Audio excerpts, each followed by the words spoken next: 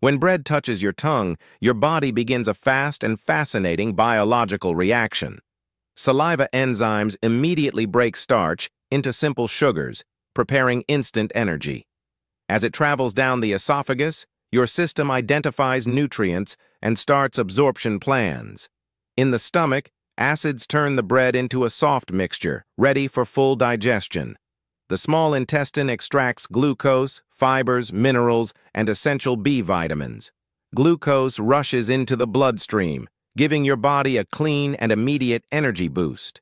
Your brain receives a focused surge of fuel, improving clarity, reaction, and short-term memory. Muscles absorb glucose to enhance movement, power, and overall physical performance. Fiber promotes smooth digestion, stabilizes blood sugar, and supports long-term gut health. B vitamins activate metabolism, helping your body convert bread into sustainable fuel. With balance, bread becomes a powerful source of energy,